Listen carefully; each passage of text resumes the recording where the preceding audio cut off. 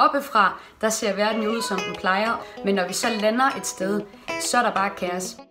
Jeg er pilot, og i de her dage, der er vores arbejde jo lidt anderledes, end hvad det normalt er. Jeg er lige kommet hjem efter at have hentet øh, 72 højskoleelever på Zanzibar, fordi at de var strandet på grund af den her coronavirus. Jeg blev ringet op mandag og spurgte, om jeg kunne flyve til Zanzibar tirsdag øh, morgen tidligt, og det sagde jeg selvfølgelig ja til.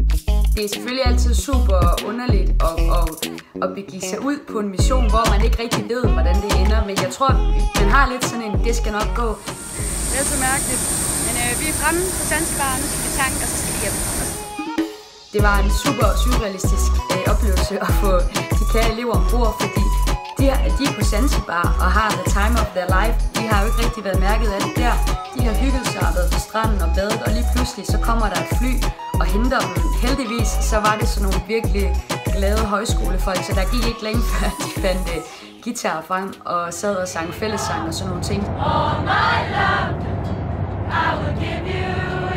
Det kan selvfølgelig godt være angstprovokerende, at man sidder der med et ret stort ansvar og med mange menneskers øh, lidt skæbne i hænderne, men man er sgu nødt til at hjælpe, og man er nødt til at gøre en forskel. Og nu der er verden simpelthen så mærkelig, og der er så meget, man egentlig godt øh, gad at gøre, men ikke kan. Og jeg, øh, altså, jeg kan ikke andet end at flyve. Det er det, jeg er uddannet til. Så den eneste måde, jeg kan hjælpe på lige nu, det er at hente de folk hjem, som øh, skal hjem til Danmark. Hej, det er den vildeste følelse.